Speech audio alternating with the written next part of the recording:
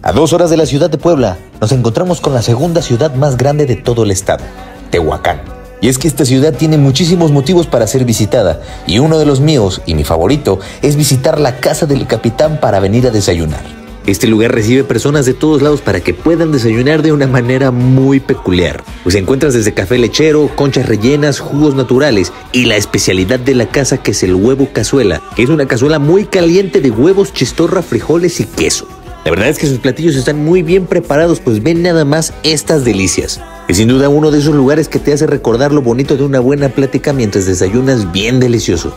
Los platillos se me hacen muy accesibles y tienen incluso platillos de temporada muy deliciosos como sus crepas en nogada. O este pan francés con frutos rojos relleno de Nutella que estaba exquisito.